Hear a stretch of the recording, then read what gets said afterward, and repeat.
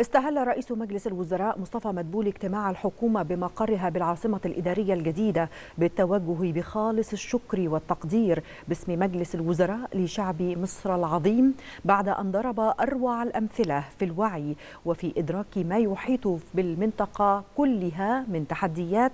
فاصطف في لجان الانتخابات الرئاسية للتعبير عن رأيه ولتأكيد حضوره في هذا المشهد السياسي الأهم. كما تقدم رئيس الوزراء بالشكر لشباب مصر الذين تصدروا المشهد الانتخابي وعبروا أيضا عن وعيهم الشديد ووطنيتهم وتمسكهم بحقهم الدستوري في الإدلاء بأصواتهم. وفي سياق آخر أكد رئيس الوزراء أهمية بحث المزيد من الآليات التي من شأنها أن تسهم في التعامل التعامل مع أي زيادات في أسعار السلع الاستراتيجية وضرورة العمل على توافر مختلف السلع بالأسواق كما أشار مدبولي إلى الجهود المبذولة للتعامل مع أزمة السكر الحالية والتحركات التي اتخذتها مختلف أجهزة الدولة لحل هذه الأزمة مؤكدا تكاتف الجهود لسرعة حل هذه المشكلة.